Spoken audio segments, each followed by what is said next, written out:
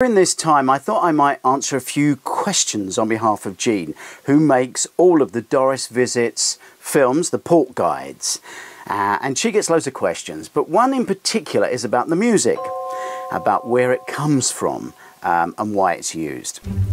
So Jean makes the film and she lays on music and sometimes people don't agree, sometimes they love it. And then we get all kinds of all times of comment. And no two people love the same music. So let me just get this straight. We only use music that we own the copyright on. And that tends to be music from feature films that I've made. So if we look uh, up here, this is Jean um, in a scene from The Scarlet Tunic, a Thomas Hardy film that I made back in 97, I think, 1997. I do not own the music to that, so we can't use it. As wonderful as it is, that is, um, it's off our radar. And we can't touch that. It's such a shame because the soundtrack's wonderful. The soundtrack I can use is the one from Bula Quo, the Status Quo movie, and I can use the music between the tracks, in other words, the actual score of the film. Although I wrote two of the tracks with the band, they co-own it and it's gone through their publishing company, so I can't use those two. I can only use the score. And I can also use the score from Jean's mini-series that she made online, which was about 60, 60 odd episodes of an online drama called Shades of Bad. And she, she informs me that one day she's going to put that back up on, on the internet. Twice, she actually won Best Actress for that in, in New York, in America. Now, that music is laid onto the films, but it's all written by the same composer. And I just thought you might like to see how the music and why the music is written. Bearing in mind he does not write the music um, aimed at the, uh, the travel films in Doris Visits, the Ports Guide, Port Guides on our channel. He wrote it for those other films and we just use it. Sometimes he would think, and I'm sure he does, inappropriately. So anyway, here's Jean with Mark talking about how he makes music work for films. Are you going to play the...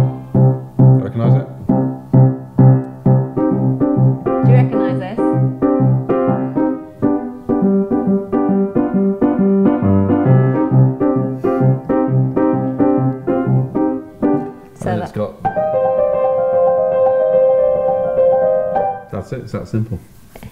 So, most of the people that watch Shades of Bad, the first thing they say to me is, I love the music.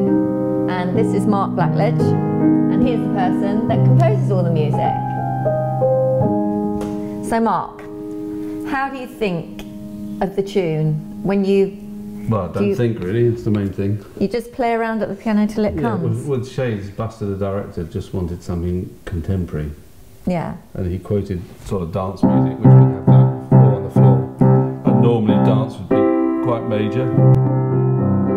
But taking that as a basis, a little bit of intrigue in the minor key, moving to those in, it's that simple really. And have you got your stop phrases where, um, so if you see something happening, um, you know to go, as you said, I mean, I don't understand but does, so is, is mine a more spooky or do you know yeah. where to go on the piano? Yeah, and you can always, if something sinister, if you want something sinister, you know, a relationship, if you go from C minor and you want, you go to A flat minor. If you want it to be really sinister, I've probably done that a million times. Yeah, and then so but you know when something. It's all, harmonies make a difference as to how you perceive the character of someone on screen. Definitely, I think definitely in Shades of Bad. So if I'm smiling like that, but if I'm smiling like that, the smile Something behind the smile. Yeah. Yeah. And in Shades of Bad, I think the music has become another character in the okay. in the episode. Did you compose Shades of Bad on the piano? No. How did you? Well, on a keyboard, not on, a, a piano. Yeah. Uh, it's actually strings, isn't it? It's pizzicato strings. So that yeah is actually plucked by the violins. We could we can go and have a look at it if you like. Right. In the studio. So not only do you hear the piano in your head, you hear the whole orchestra in your head when you're. Yes. And how long have you been composing? Uh, Thirty years. 35 years, 30, 35 years. Yeah. And what's your favourite thing to compose for Orchestra. orchestra? Although you never get to use an orchestra these days. It's too expensive. Yeah. But there's good samples. You can make it sound like a real orchestra. Do you prefer co- composing for film or television or animation? Uh, I don't mind really. It depends on the style of music they want. If they want orchestral stuff, then I'm into it. right. But I spent years doing advertising and and music um, in Soho, which wasn't really my cup of tea, but it was good. But now I just like to play with orchestras. So what you mean making up jingles and that sort of thing? Used to do a lot of jingles, yeah. Yeah. Yeah, you'd get a call at nine in the morning, you'd get a brief at ten, and it might be on air that afternoon. And you Wow. never, you didn't know what would come in. Might be reggae, might be anything. Do you ever get like you know writers get a writer's block No. and they just can't? You don't. You never get that. Well, I'm not writing music for me. I'm writing music for you or for Stuart or Buster, and they've got a specific brief. You can't. Yeah. There's no block because they're telling you what you want. And very often, here's the picture, and here's the here's the drama, and, the, and this is the emotion we want. Do you hear it in your head before you play it, or do you Yeah. tinker about and so you you know the kind of thing you want and then you play it, or yeah, do you I hear colour. do you? Yeah, I, I hear the colour that I want to put on it, and then you get that colour from the harmony. And then if you're going to write melody, which which sometimes you need to do, then that's a shape. So Mark's also composed for Stuart before for films um, and uh, well films for films. What was the first one? That was Devil's Gate, wasn't it? I met you in Soho when you were talking about a film, Joe Macbeth. Wow, that was a long time ago, wasn't it? Yeah. Mm. And then you did Freight a couple of years after that, I think. So we were saying that the um, I didn't write it at the piano, Yeah. And so the, the immediate sound that came out was the pizzicato strings. Wow. So can that It's a bit sound? more dancey. It's a bit more fun than the piano, really. Yeah. Can that sound like all different instruments? Um, then can you Yeah, you do you play- just? The piano was a honky tonk. There was a Celeste.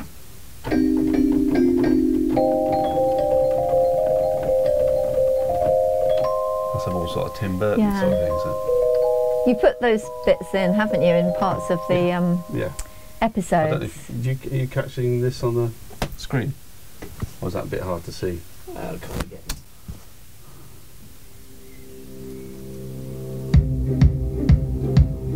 So that bass, that's just on the bass, the kick of the, um, as if it was a dance track, Yeah. which gives it the contemporary feel that Buster, the director, wanted, I guess. And so yeah, and it's catchy, isn't it? And you remember it as well. Hopefully. Now that in, you hear that sound. Uh, where is it? It's uh, actually an instrument called a zither or dulcimer. G? G? Yeah. So that. I if you remember, you know, that's the kind of 60s uh, sound you'd associate with 60s spy music Yeah. Yeah. or um, Get Carter. Yeah. And that, I think, just adds a bit more intrigue and a bit more cynicism to what's underlying quite a happy beat. Well, it definitely uh, punctuates um, the episode. So if something spooky's happening or something bad's happening, I love those little chords you yeah. put in. Yeah, yeah, yeah. So It- that and that that combined just makes it it's a, it's exciting moving on something's happening but there's a little bit of Tension. yeah Yeah. Yeah. You can you can create tension, can't you? Even if there's and if you did it all in in uh, major you'd take all the you know that would be a very happy different piece Yeah. wouldn't it? yeah. I just remember that little part I put in at the end was having worked with you on Bula Quo, and they very often to jum to jum is their kind of stock rhythm Yeah, on guitars, yeah. isn't it?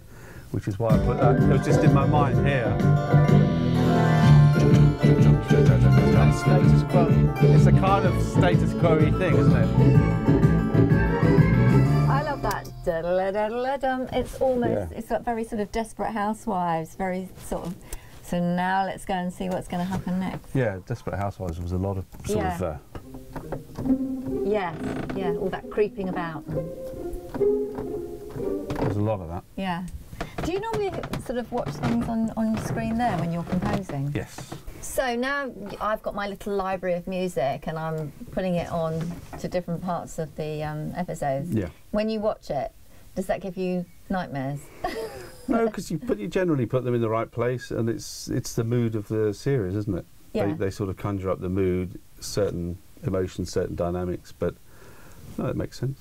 You can once once you've established the style of a show and the the, the kind of music that's going to play under it, you can almost repeat that as you do. Yeah. Just put it anyway. Yeah, because Mark's given us a library now that we can use on, on um, in different parts of the the episode. So so we can just place it where we want it now. So what's next, Mark? Because um, moving on, Buster wants to do a movie, doesn't he? And um, we could do a massive dance movie. A dance movie. Yeah. What kind of classical dance? Uh, classical dance, or we could mix it. Okay. when do we start?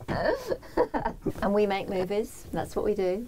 How long would it take you to say compose an, uh, music for an episode? Of Shades. of Shades. Uh, a few hours. Well, the first the first one takes a lot longer. Then you've established what you're basically doing. So you've got your mm. toolkit, and then you decide which tool am I going to use for this section. So it gets quicker and quicker. So how long do you take to edit one? A long time. A long time. How long does it take for a film? How long would it take To score a film, score a film. it'd be nice to have six weeks, but you often get two, three weeks. Really? So that must be lots of long days.